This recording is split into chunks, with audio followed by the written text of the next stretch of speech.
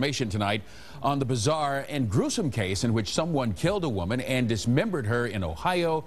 Her body parts turning up in Covington. 9 News anchor Tanya O'Rourke has an interview with a close friend of the man accused that you'll see only on 9 News. Tanya? Clyde, this is stunning information this woman shared with 9 News. She does not want to be identified, but she says she is a friend of Matthew Puccio's, who police say stabbed Jessica Sacco, suffocated her, and then dismembered her. Sacco was sharing an apartment with Puccio. The friend says Puccio had to do it, that it was self-defense because Sacco had put a hit on on him because he wouldn't date her.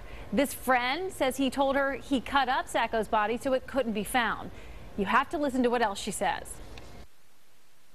He said that since Jessica uh, Ray Sacco put a hit out on him after she tried to kill him herself and it didn't work, he decided to go after her because that's what his family was telling him that he should have done.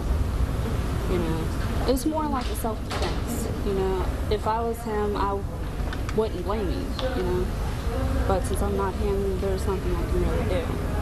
He told me that he told her she was going to get it in 20 minutes because of everything that she did and with the hit that she put out on him.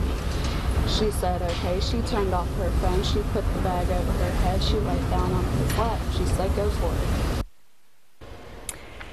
The woman Channel 9 spoke with says she feels Sacco had it coming to her and that despite the fact that she says Puccio told her he did it and cut up a body, she feels Puccio should go free, that he wouldn't hurt a fly. Four other people are charged in this murder either because they allegedly helped dismember the body or because they watched it happen and didn't do anything to stop it. Three of the people allegedly involved were arrested in Butler County. They'll be sent to Urbana to face trial. Carol.